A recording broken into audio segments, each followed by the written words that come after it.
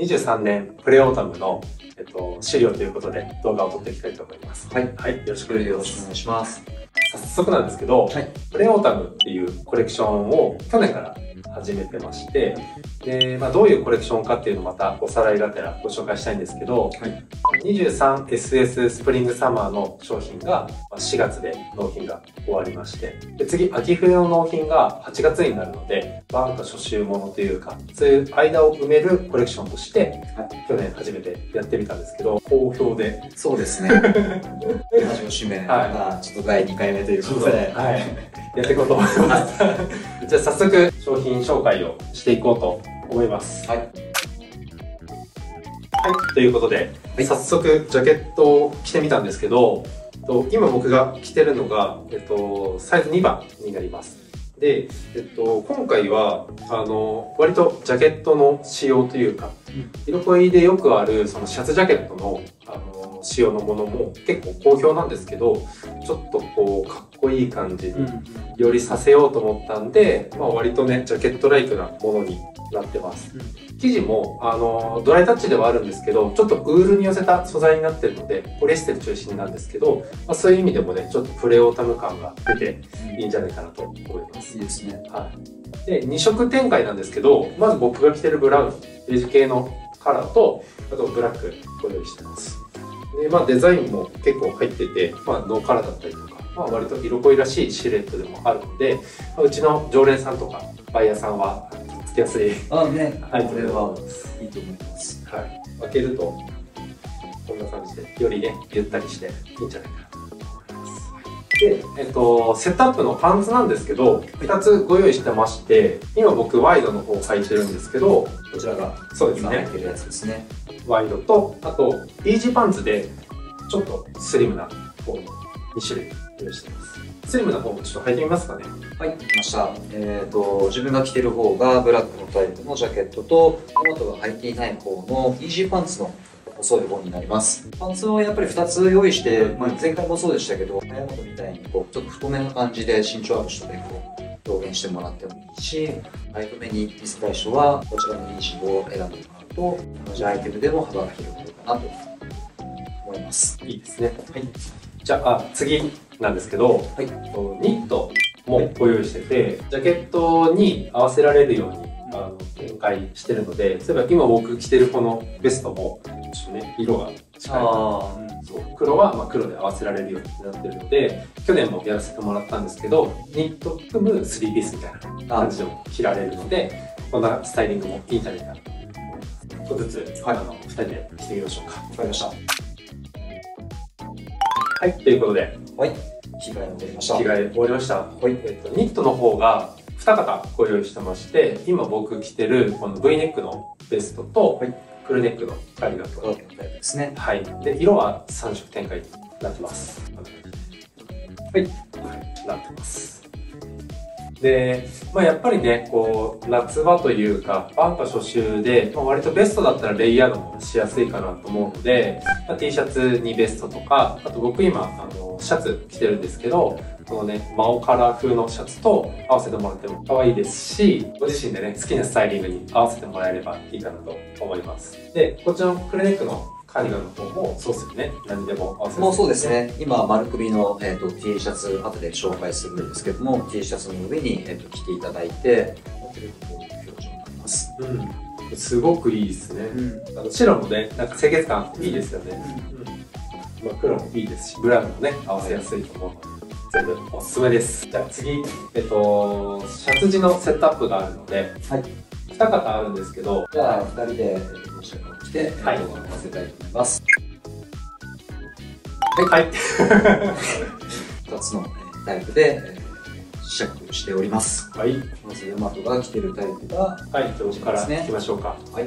と TR のセットアップなんですけども、肥沃の仕立てになってて、まあ、閉めるとね、ボタンが見えないようになってます。で、首のところは、あのマオカラーになってます。白、ベージュ、ブラックの3色展開になってます。普段のあの TR、まあ、TR、TR ってこうポリエステルレイヨンなんですけど、のパンツとかに比べても、あの結構ライトな素材感なので、夏場暑い時期でも着やすいんじゃないかな思います。タッチ的には、シャツっていう感じの肉感そうですねイメージですね。うん、僕とか、あの、なんだろう、真夏でも結構長袖のシャツとか、あのね、常連さんはわかると思うんですけど、着てるんですけど、まあ、そういう人たちだったら、まあ、着れるかなっていう感じの肉感ですね。いや、もう暑くて無理ですっていう人は、あのぜひね、腕まくってもらって、こうやってね、着てもらってもかっこいいと思います。はい、ポケットが特徴的ですよね。確かにの、えーウエスタンのこうパッチがついてるうんタイプになっていて、ほんと全部締めるとかなりあのモードな雰囲気もありつつ、そうですね。はかっこいいですよね。い、つるっとしているので、先ほどヤマトが最初に着ていたノーカラーのジャケットの中に着ることもできるようなアイテムになってます。確かに確かに。あと上だけで言うと、えー上だけは白がですよね。そうですね。はい。ご用意してます。はい。かっこいいです。パンツは、えっと、イージーパンツで、で、ワイドのシルエットですね。ここ、最近、うちはこう、バギーパンツとかが、まあ、すごく人気で、こう裾口に向かってこう広がっていくっていうタイプなんですけど、このタイプは、まあ割と、この渡りからズドンと太いタイプになるので、まあ、あの、ワイドパンツに慣れてる人だったら履きやすいんじゃないかなと思います。このパンツはもうめちゃくちゃ涼しいです。ね、本当かなり涼しい。もうはい、真夏向きパンツですね。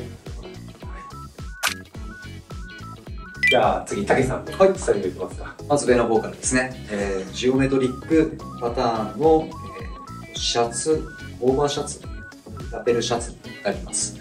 で、この素材の特徴としては、まずこの小突きの、えーと、幾何学模様の柄になっていて、えーまあ、うちのそのお客さんであったり、卸先さんでは結構得意な柄になるんじゃないかなと思います。こちらにストラップが入っていて、ロールアップすることによって、七分丈のような、雰囲気にもできますし、袖を落としていただいてもと思います。あの、ちょっとあの、ルックで、もう先にいろいろこう、モデルに来てもらって、えー写真を撮ってるんですが、ちょっと前の色っぽいの雰囲気というか、エスニックなような匂いもあるし、えっ、と、ヘミアの匂いも感じられるし、手に取りやすいかなと、進めやすいアイテムになります。はい。はい。まあ、割と、あの、柄物をね、皆さん慣れてると思う。まずね、これはいトライしてほしいアイテムです。そうですね。はい。で、パンツの方の紹介になると、パンツが、えっ、と、バギーパンツのシルエットになります。まあ、今回のプレオータムの中で言うと、唯一のバギーパンツです。フレアからそのバギーに向かって、あの、お客さんも結構流れている状態で、うん素材感にも動きが出やすいというところがあるので、かなりご好評をいただいているアイテムです。まあ、それのイージーパンツになります。うん。まあ、この辺もサイズは持ちやすい要素として、イージーパンツのパンツが結構今回は多いです。はい。はい。では最後ですかね。はいウェアでは。じゃあそうですね。T シャツ、じゃあそうしましょう。めちゃくちゃプレミアムな、いい T シャツがあるんで、ご紹介しようと思います。じゃあ着用します。はい。はい。はい。じゃあ、最後、はい。あの T シャツなんですけど、はいまあ言ってもずっと着てたんですけどね。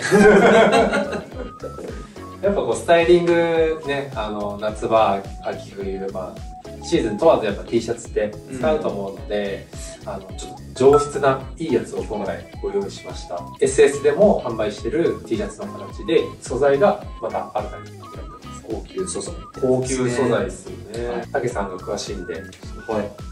紹介してもらえますか？はい。素材が60番手の端子を2個といって3本よりにしている素材になります。で、いい部分としては、そのしなやかさであっとか、張り感であったりとか、なんとなくこの体に馴染みやすいところもありつつ、形がちゃんと形成できるっていう素材になります。T シャツの中でもこうガシッとした T シャツあるじゃないですか、うん。こう面のあ硬いねみたいな。なんかそれぐらいの安心感があるのにこう触った感じはさっき武さんも言ってたんですけど60番手で細いんでしなやかなんか、うん繊細な感じもあるし、ねっていうところ。なんでなんて言ったらいいんですかね。滑らかながっしり感そう、その言葉は本当に近いかなっていう、うん感じっすよね。僕 T シャツめっちゃ好きなんでいいろいろ買ってるんですけどこれすっごくいいですね。皆さん手に取ってほしいですね。うん T シャツをこんなに語るのもあれですけど、究極の T シャツにしちゃいましょうか、これ。しましょうか。改め、改め。あとは、えっ、と、ここにあるラインナップの他にグッズがいくつかご用意あって、ベルト。ベルト。もあの去年すごく好評だったので、はい。今回もアップデートしてうん。長さをねちょっと伸ばしたりとか。伸ばして、幅も出して、そうかそうか。はい。あとは装飾も、装飾も、ねはい、3点セットのその部分を交換して、うんうん。手打ちでスタッズをちょっと剣先の方に入れてます。うん。はい。あとはアクセサリーですよね、はい。アクセサリーもシルバー系を、えっと、ネックレス2つとあとブレス。もご用意していて、あとはこれ結構いいですよね。あの帽子。あ、帽子。そう。今回あのセットアップに合わせられるようにこのジャケットのこのシリーズの生地でキャップ。キャッと、はいあと今竹さんが、プ。ジオメトリックの、うんえっ、と、こちらのタイプの素材を使ったバケットハットが、はい。で、今回はそのキャップとハットに関してはコラボレーションで、あの、アンティズムさんとやらせていただいた初めてのアイテムになってくるので、ぜひ見ていただければなと思います。結構ね単品でも使いやすいしルックとかねかっこよくはい。この辺に出てくるんですか？この辺に出てくると思いますこの辺に、あの、僕が追って出てくると思うので、ははい。見ていただければいな。そうですねはい。じゃあこんなところですかねはい。いろいろ着ながらご紹介させていただきました、結構ねあの型数はギュッとしてるんですけどそれぞれが一軍というかあの使いやすいアイテムだと思うので楽しみにねしていただければと思います、はい竹さんから何かありますやっぱりあの2回目のプレオーダムなのでかなりあの精度も上がっているというか、店長として思うのはやっぱこういう柄物であったり小物であったりとかいろいろこのお客さんの声を聞いて作っているので、あのぜひ楽しんでいただければなと思います。はい。ありがとうございました、では、えっと、6月納品までね皆さんお楽しみにしていただいて、はい、この動画はこの辺で終わりにしたいと思います。はい、ありがとうございました。ありがとうございました。チリじゃないですか